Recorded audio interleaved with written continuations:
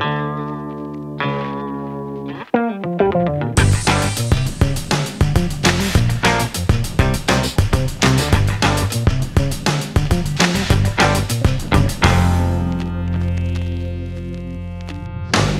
Beltracchi, Sie gehören zu den bedeutendsten Malern der Gegenwart, haben als Meisterfälscher Geschichte geschrieben und arbeiten gerade in einer Ausstellung zum Thema Engel und Inquisition.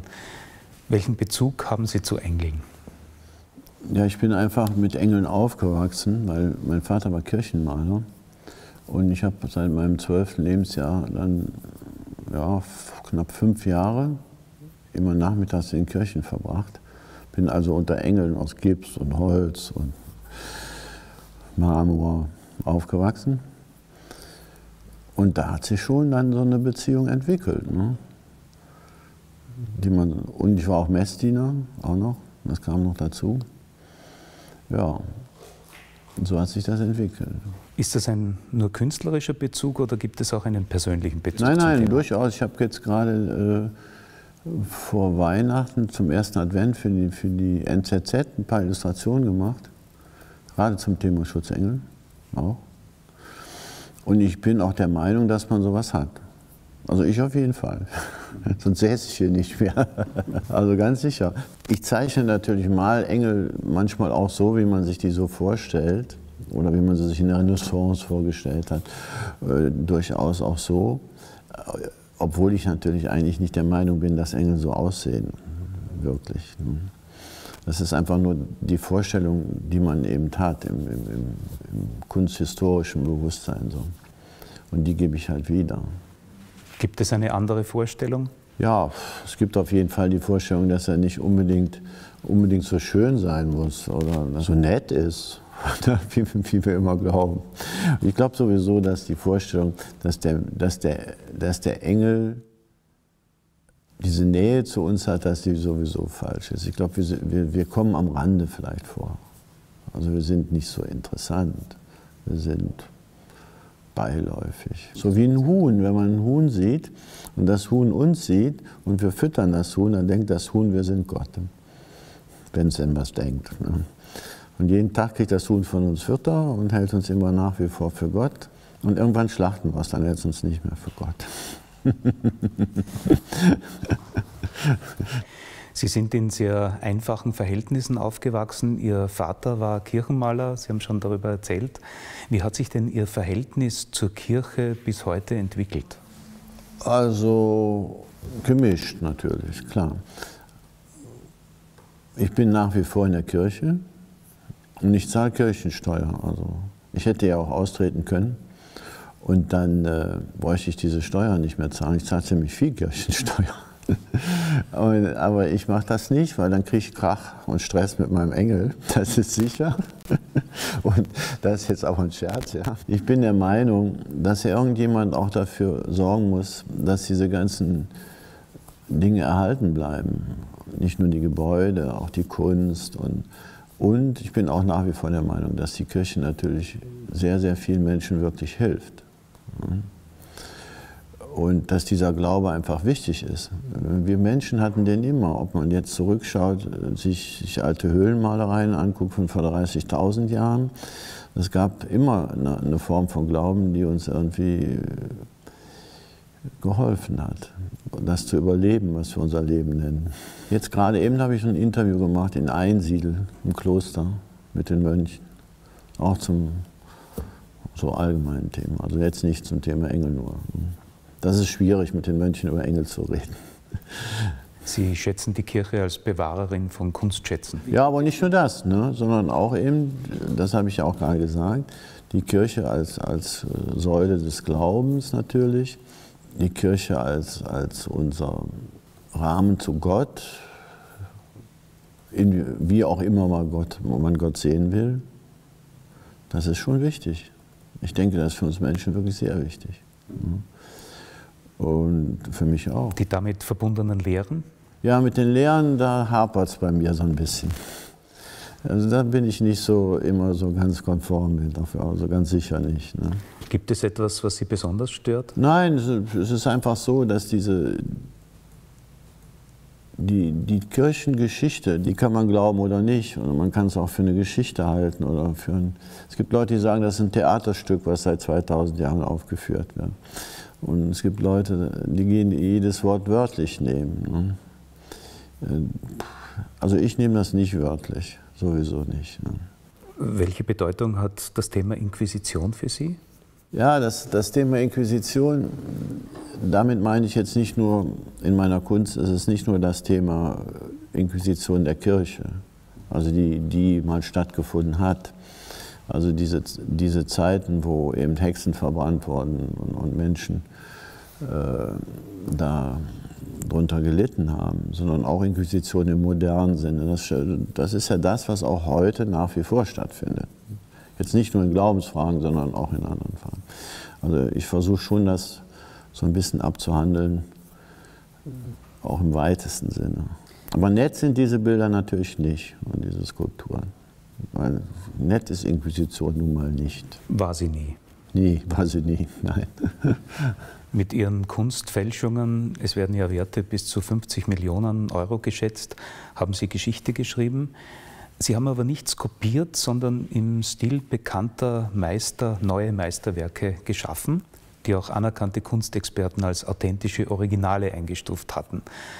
Man könnte den Eindruck haben, dass es dabei nicht nur um Technik geht, sondern vor allem um die besondere Fähigkeit, sich in die Innenwelt eines anderen Malers hineinzuversetzen, seine Gedanken, Eigenarten gewissermaßen nachzuempfinden. Wie war das wirklich? Genau so. Es geht immer erstmal um die Handschrift, die Handschrift des, des Malers, des Künstlers. Die zu erkennen, das ist schon bei mir ja, ein, genetischer Defekt, dass ich die so aufnehmen kann und wiedergeben kann. Das ist ja so. Ich habe ja weit über 100 verschiedene Maler gemacht aus vier, fünf Jahrhunderten.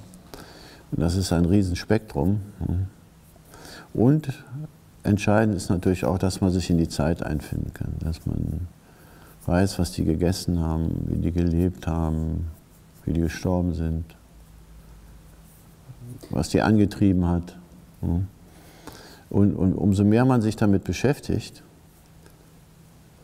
um, umso interessanter wird es auch und umso näher kommt man denen. Ne? man wird dann irgendwann natürlich zu einer gespaltenen Person, weil man so, so viele ist.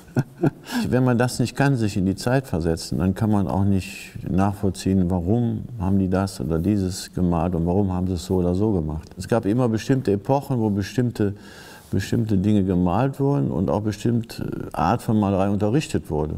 Jede Epoche und jede, jede Gegend sogar, verschiedene Städte, hatten ihre, ihre Schulen, ihre Ateliers und haben das dann so oder so oder so unterrichtet. Aber es war irgendwo immer gleich in bestimmten Zeiten. Und, und dann äh, auch die Materialien, ne? das muss man natürlich alles wissen. Das ist schon sehr komplex. Also als Fälscher muss man schon man muss schon auch Naturwissenschaftler sein und Kunsthistoriker, Restaurator und Maler. Also das ist schon mal das Mindeste. Ne? Und dann muss man natürlich auch noch das können. Und man muss auch kreativ sein. Das ist ja das, was mir viele absprechen. Dann sagen, ja, der hat ja Bilder gemacht. Aber es ist ja so, dass, dass keine Kunst aus sich so entsteht, sondern immer darauf aufbaut, was es vorher gab. Jeder, der heute ein Bild malt, der hat diese 2000 Jahre Kunstgeschichte hinter sich. Nur die wenigsten wissen da was von, ne? leider.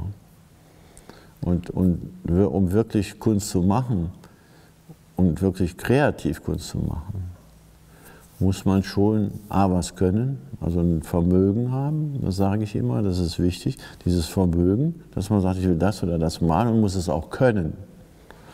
Und man muss das Wissen haben das Wissen, in dem Fall auch das kunstgeschichtliche Wissen. Und dann vielleicht eben noch dieses unterbewusste Feeling. Und das mache ich ja sowieso, dass man sich in die Zeit versetzt, in die, in die Problematik. Dieses Feeling erscheint mir aber als das Wesentliche. Ja. Man kann ja recherchieren, Literaturstudium betreiben, aber das Wesentliche fehlt immer. Ja, das ist, bei mir ist es ja so, dass ich auch nachts in diese Zeiten reise in meine Bilder und meine Frau, die weckt mich dann oft, weil meine Frau, die die erlebt das ja dann auch. Ich bewege mich viel und rede dann auch viel. Und, und im, ich schlafe ja nicht tief, ne, sondern be, bewege mich in diesen Träumen. Und was mich eigentlich immer am meisten annervt, ist oft der Geruch. Ne, das, das stinkt oft sehr. Ne. Was ich also überhaupt gar nicht mehr vertragen kann, ist der Geruch von Grütze. Das ist irgendwie diese ganze Zeit, Grütze, ich kann das nicht mehr riechen, wirklich nicht. Oder, oder auch Scheiße. Ne? Wenn man jetzt in Paris im 18. Jahrhundert rumrennt, das stinkt ganz schön nach Scheiße. Das sind dann auch richtige Zeitreisen. Ja, ja, klar. Ich bewege mich einfach in meinen Träumen und es ist, ich rieche es, ich höre es, ich sehe es und ich weiß auch bewusst, dass ich träume, aber dass ich eben unterwegs bin. Das ist so selten gar nicht. Ich kenne, doch recht viele Menschen können das, ne? glaube ich jedenfalls, so einige. Also die Psychoanalytiker sagen mir immer, doch, das gibt schon einige. Wie hat das alles begonnen? Wie hat die erste Zeitreise stattgefunden? Haben Sie das schon als Kind erlebt? Ja, ja ich erzähle nochmal diese kurze Geschichte. Also begonnen hat es mit zehn, als ich in den Niederlanden war, bei meinen, meinen Verwandten. Mein Großvater kam aus Scheveningen, der war Müller. Und dann musste ich mit den Tanten immer dann unterwegs sein, und da waren wir im Museum, im Mauritiushaus, und da habe ich erstmalig ein Winterbild von Henrik Averkamp gesehen. Und das hat mich total fasziniert und da habe ich dann davor gestanden und das hat mich so quasi aufgesogen. Ne? Ich hab, war auch vorher nie in einem Museum gewesen und äh, dann habe ich, hab ich das so gesehen, die, die Kinder auf dem Eis und gerochen, die, den Rauch von den Schornsteinen, die, die, die Raben habe ich gehört, die Hunde, das, das, dieses von den Schlittschuhen. Also es war wie, als ob es plötzlich lebendig wurde, das Bild. Und dann habe ich gedacht, ah ja, hm, deshalb gehen die da immer alle ins Museum, weil das so spannend ist. Ne? Das, ist, das macht Spaß. Jeder erlebt es ja, so. Ja, jeder. Das war jetzt nicht so, aber ich wusste es nicht. Ne? Und äh, ja, ich habe es dann immer wieder mal genossen. Ne? Schon. Ich habe es auch meinen Eltern gar nicht erzählt. Also ich dachte, die kennen das. Ne? Mein Vater, der malte immer Kopien von alten Meistern und dann dachte ich, oh, der kennt das. Ne? Deshalb macht er das. Das sich hineinversetzen in solche Welten, gibt es da für Sie einen Unterschied zum Erleben des Hier und Jetzt in der Qualität, in der Intensität? Ja, ich denke, also mein Leben war schon sehr intensiv, auch, auch das Tagsüberleben. Und ich habe ich hab ja, in meinen 60. Geburtstag habe ich ja im Knast gefeiert, in der U-Haft. Aber vorher hatte ich schon bis dahin ein sehr, sehr intensives und sehr, sehr interessantes Leben. Das muss man sagen. Und dann kamen die Nächte noch dazu. Äh, seitdem hat sich das ein bisschen verlagert. Ne? Da sind manchmal die Nächte interessanter, also meine Träume, als der, Tag über. Aber es ist immer noch toll. Ich mache viel, ich, ich habe viel Spaß von meiner Familie auch, meinen Kindern und so. Aber vielleicht liegt es auch, hängt es am Alter werden, vielleicht hängt es am Alter werden, dass man immer mehr so in diese andere Richtung geht, also bei mir. Dass die Träume häufiger sind, dass ich dass ich sie weniger oder weniger abschütteln kann, dass ich manchmal so, wenn ich vor einem Bild sitze, tauche ich ein, auch hier im Atelier. Ne? Meine Frau, die kennt das schon. Dann sitze ich eine Stunde vor dem Bild und bewege mich gar nicht mehr, mache nichts ne? und bin einfach weg. Und äh, ja, das kennt die. Das ist halt, ist so. Hat diese Fähigkeit, die Gedanken, die Befindlichkeiten anderer Menschen zu erspüren, auch andere Aspekte für das tägliche Leben? Ja, ja natürlich hatte das auch schon immer. Also ich spüre ja auch so die Eigenarten der Menschen, die vor mir sitzen. Und ich spüre auch, wenn ich mich darauf konzentriere, sehr, sehr gut, was die denken. Ich sage meinen Leuten immer, die sich mir nähern, sage ich immer, komm nicht zu nah ran, dann wird es vielleicht unangenehm. Weil ich möchte das ja gar nicht wissen.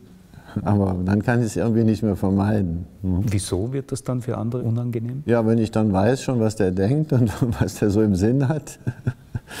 ne? Das ist dann schwierig.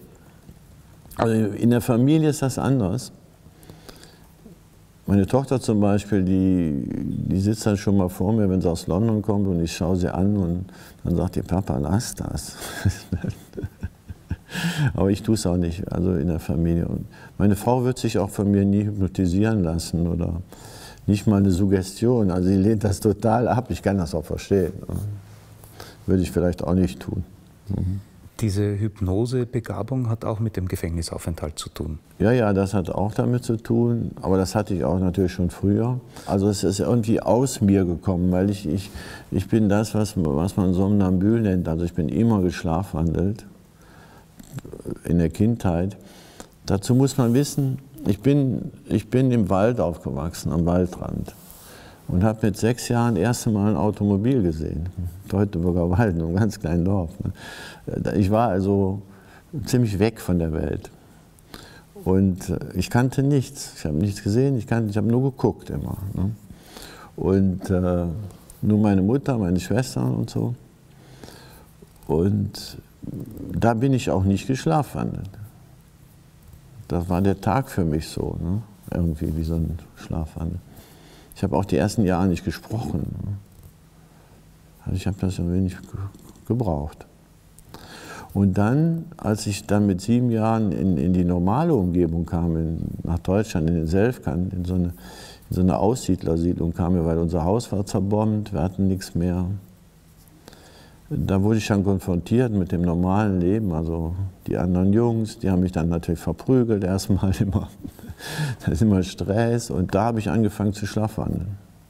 Und zwar jede Nacht. Da waren auch intensive Erlebnisse damit verbunden. Ja, ja, das war dann auch, aber auch nicht immer so schön. Ne? Und, und ich konnte dann auch nichts machen. Die, meine Eltern haben mich immer eingesperrt. Ne? Aber daraus ist das eigentlich entstanden, dass ich dann für mich entdeckt habe, dass ich eben auch diese Fähigkeit habe. Wieso war das im Gefängnis von besonderer Bedeutung? Ja, im Gefängnis war es so, dass ich die Leute gezeichnet habe, ne? immer abends im Umschluss. Und dann war das gut, dann konnte ich die beruhigen. Ne? konnte so ein bisschen Einfluss darauf nehmen, dass sie, dass sie wieder sich beruhigten, dass sie ihren, ihren ihren Stress und ihren Hass ablegen. Die sind wie, Bom wie Bomben, die sind, wie, die sind wirklich unglaublich angespannt, viele. Wie kann man sich klar, das vorstellen? Ne? Sie sind da mit einem Zweiten gemeinsam in einer Zelle? Man sitzt zu zweit in der Zelle, wird eingeschlossen mit seinem Besuch ne? und, und dann erst nach zweieinhalb Stunden machen die wieder auf. Ne?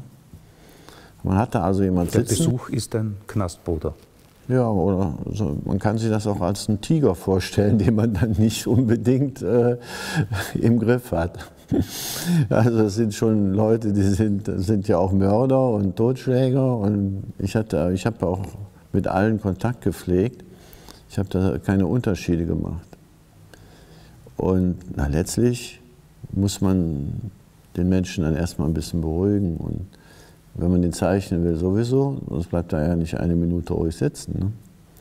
Und da habe ich das dann auch gemacht. Das war dann eine Suggestion halt. Ne?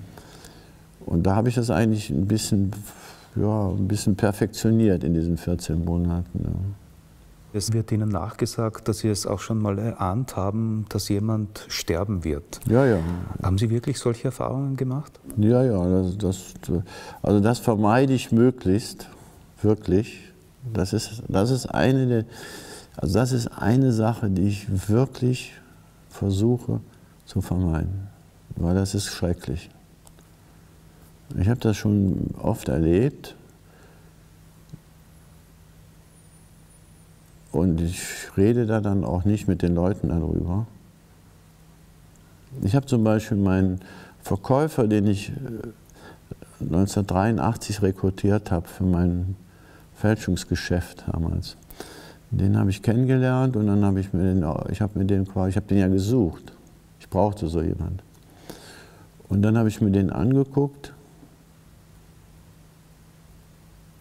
und überlegt, weil das sollte ja auch lange laufen, das Geschäft. Das lief ja da auch schon zehn Jahre, aber Und dann habe ich ihn mir angeguckt, auch daraufhin, wie alt er denn wird. Und da habe ich, ja, hab ich gesehen, 72. Dann habe ich das mal hochgerechnet und ja, das reicht. Das ist, länger willst du sicher nicht machen.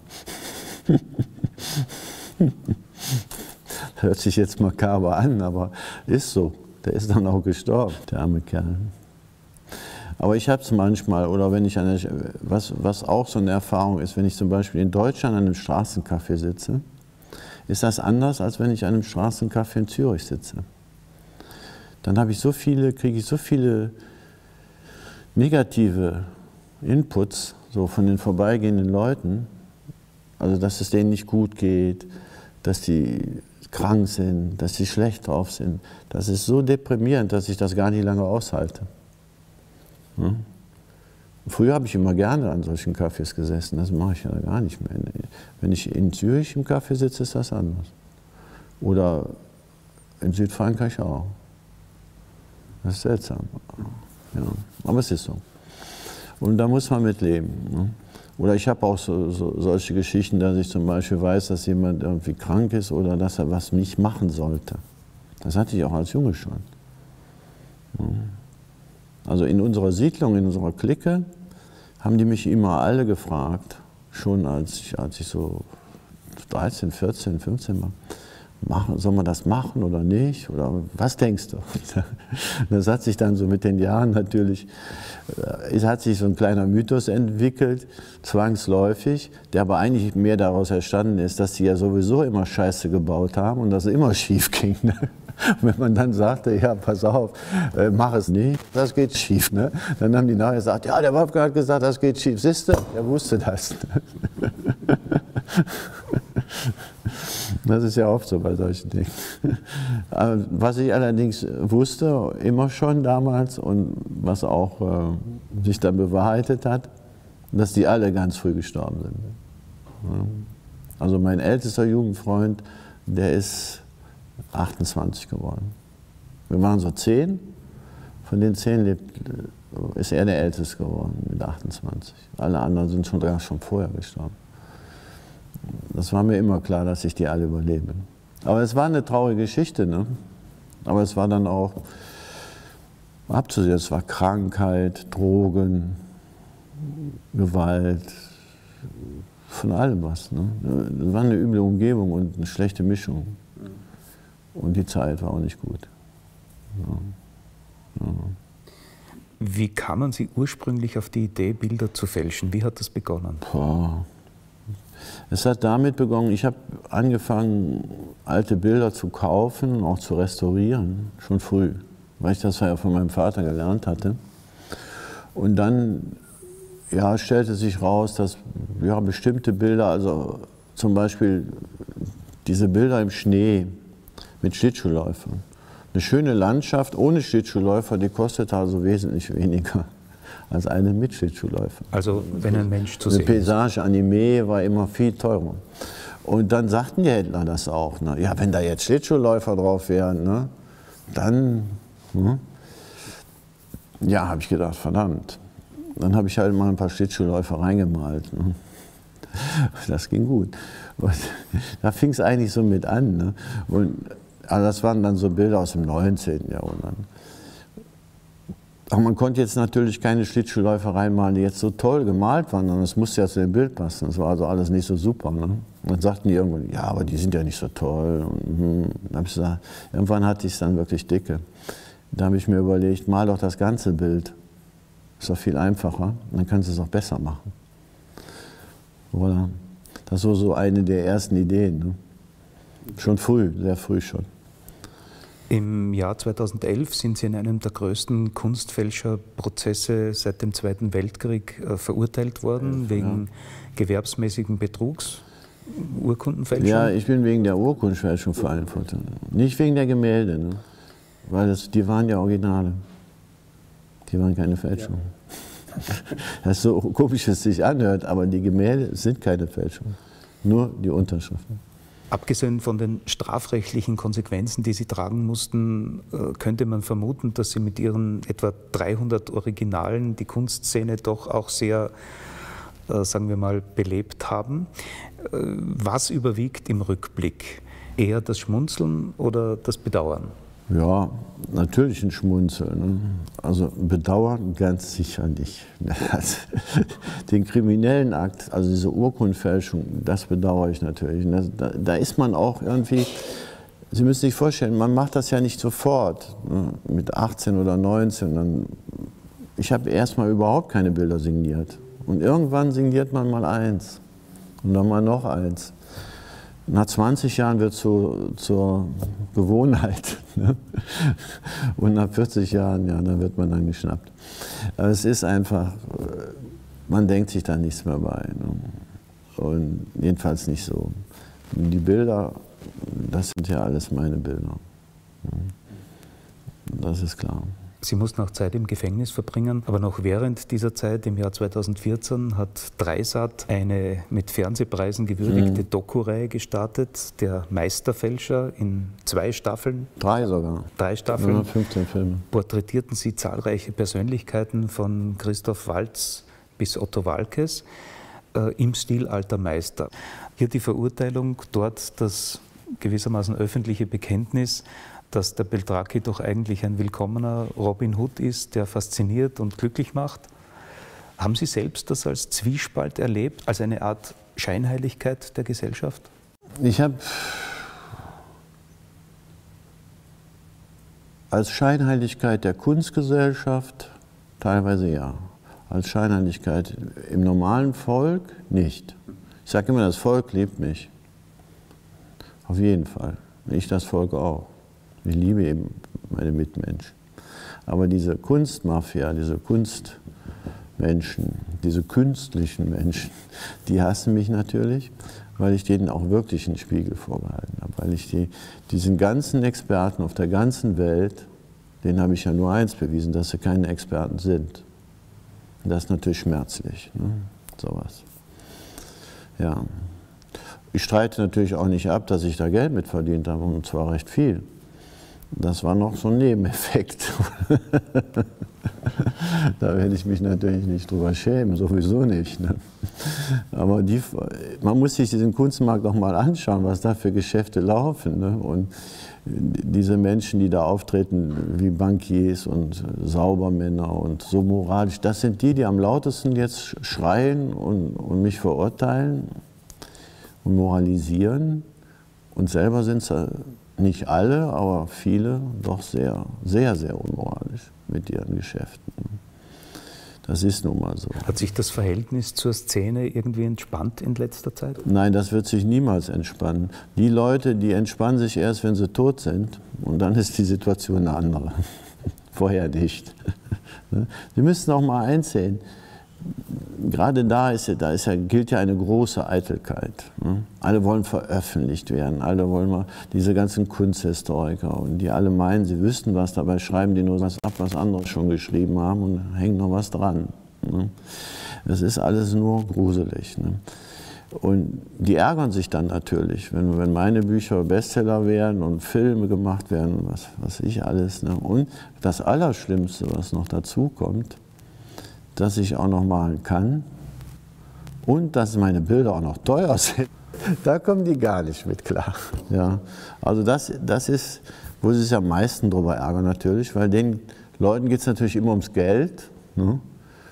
Und ich meine, ich habe auch viel Geld verdient, aber mir ging es nie ums Geld, weil ich habe immer nur Bilder gemalt, wenn ich gerade mal wieder was brauchte. Ich hätte auch 2000 Bilder malen können. Ne? Das habe ich schon mal gesagt. Die hätte ich auch verkauft. Der Markt hat danach gelächzt. Also es war leicht. Ja, es, ja gut, leicht ist es nie, aber die waren einfach so gut. Ne? Und pff, das Geld. Es geht nicht wirklich um die Kunst, sondern ums Geld. Also im Markt geht es immer ums Geld. Ne? Das ist ein normaler Markt wie jeder andere auch. Ne? Denen geht es ums Geld sowieso. Ein Kunsthändler, der sagt zu seinem Kollegen, da habe ich jetzt ein Bild gekauft, für 100 Mark und habe es für 1000 verkauft. Mit diesen Lumpien 10 Prozent muss ich leben. So muss man sich das vorstellen. ne? Genau so. Die Zeit im Gefängnis, hat sie die verändert? Menschlich, künstlerisch, ah. spirituell?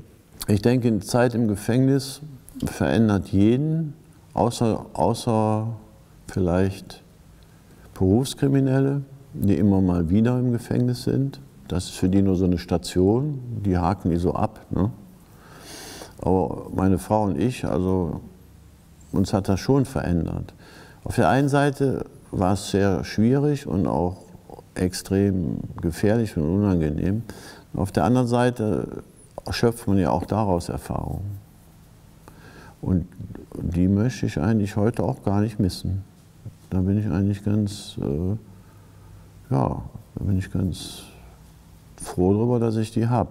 Obwohl ich nicht mehr ins Gefängnis, also nie mehr ins Gefängnis möchte. Haben Sie da eine neue Qualität von Extremern im Gefängnis erlebt, die Sie bisher noch nicht kennengelernt haben? Also, sagen wir so, ich habe natürlich in meinem Leben diese ganzen Extreme kennengelernt. Und das kannte ich schon. Und deshalb bin ich auch ziemlich gut klargekommen da. Ne? Aber ein Extrem kannte ich nicht. Nicht in der Form. Und das war die Bösartigkeit von Menschen, so geballte böse, böse Menschen, so viele, und die wirklich böse sind. Also das, das habe ich so nie vorher kennengelernt. Ne? Das gibt es da schon. Ne? Die brauchen auch keinen Grund, die sind so. Ne?